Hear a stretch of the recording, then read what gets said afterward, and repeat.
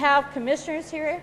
We have Skagit, Snohomish, Whatcom, Mason, Clallam, Jefferson, Kitsap, county commissioners, PUD commissioners, important critical key decision makers, real estate professionals, planning department, planning unit folks. So a really good cross section of our people. And every time we get together and talk about water, it should be really clear that we need that diversity at the table.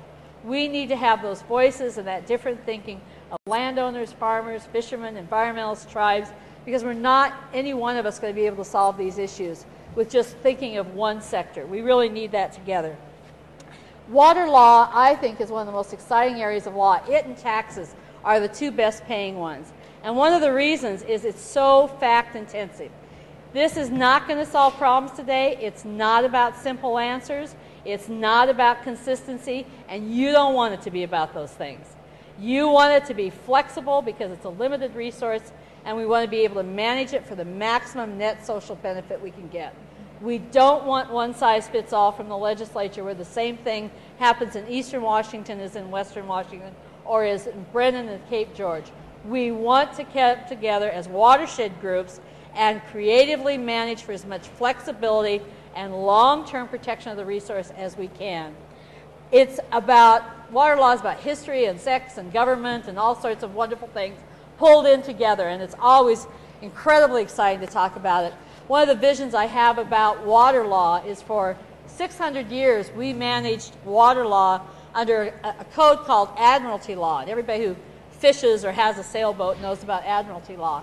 And it was so creative in the way that it dealt with limited resources that when these big, beautiful wooden schooners would go around the Cape of Magellan, and maybe some of the flotsam would go over the one side to save the ship, and the, the stuff on the other side would actually get to port and be able to be sold. Water law for over 600 years had an agreement among businessmen, merchant, and government that they indemnified the loss by the people who got to the actual market. And they made sure that no one had a win lose situation, that everybody shared the wealth and shared the risk. And in some ways, that's how we manage water today.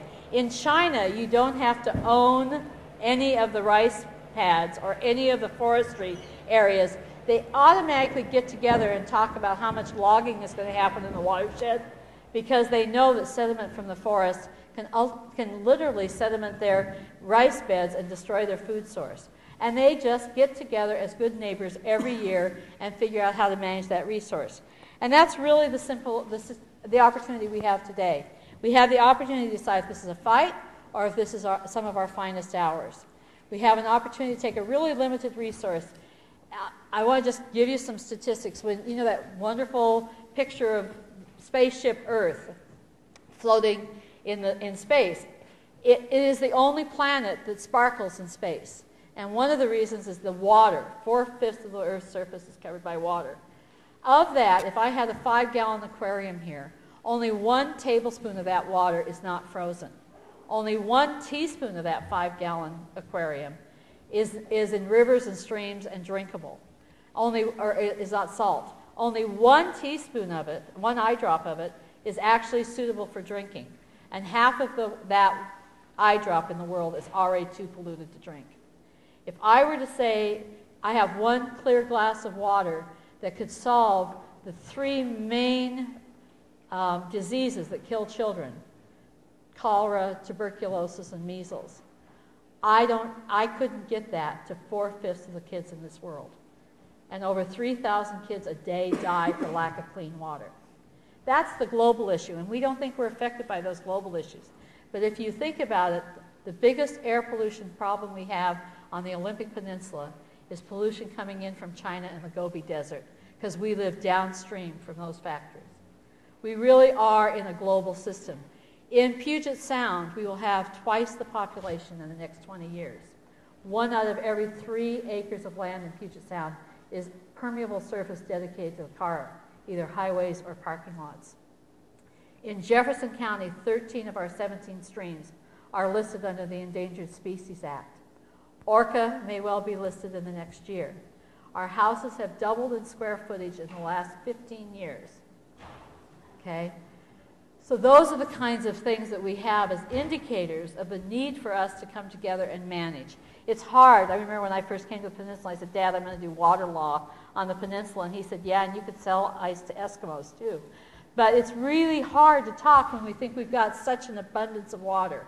But the issue isn't just the abundance, it's the quality of it, it's the place, it's the amount of it, it's the, quali- it's, it's the beneficial use we apply to it.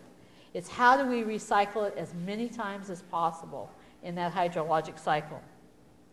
Several years ago, I had the opportunity to work with the forest industry, and they were fighting about best available science. They uh, were fighting in the tribes. This is a state that, if you remember the U.S. v. Washington case in the 1970s, we went to the U.S. Supreme Court 13 times on water issues and lost 13 times on tribal and fish issues. And the Supreme Court said that they had never seen such divisiveness in a state other than the busing issues in the South. That we were totally divisive and fighting over the issues of salmon and water and in stream flows.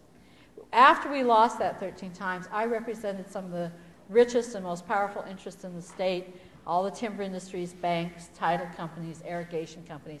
They had much more power and money than we have in this room. And after about two years of a million dollars a month in litigation, they realized that they could continue to fight, continue to destroy streams, continue to lose money, continue to lose options, and cleanup was going to be a lot more expensive than prevention. And if you at, wonder about that, just notice that LA just agreed to spend $400 billion to restore the wetlands and streams that they uh, destroyed in the 1940s with their irrigation projects. So we want to act on the side of prevention and not cleanup. 20 years ago when I came to the peninsula, some of you are from Sequim, we made a pact that we would act before the crisis. We were the site of the first watershed plan in the state. We were the site of the first salmon stream in the state. They created a trust water right for salmon, perhaps in this region. We can propose a trust water right for agriculture and local food production and the things that keep us rural. We have a choice of whether we see each other as enemies or joint problem solvers, whether we stereotype and deal with fear, or if we say that this is one of the great challenges of our generation. My generation wasn't asked to necessarily go to war. My generation wasn't necessarily asked to cross the West in, in wagons and face the unknown. What we are asked to do is come together and do the, the fine task of how do we protect our quality of life, natural resources and water, while we have growth and economic prosperity. That doesn't happen with us yelling at each other or being fearful.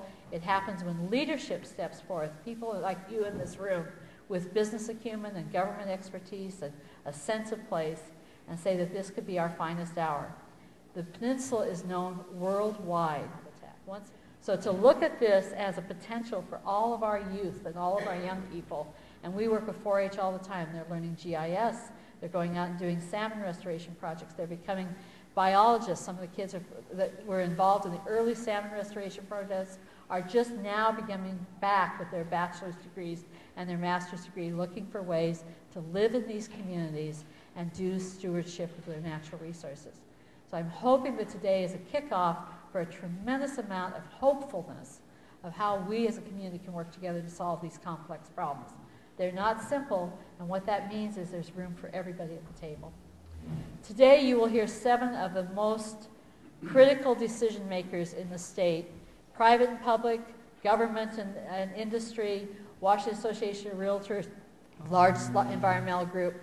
And some of you may think, God, I'm hearing the same thing about seven times. Listen harder.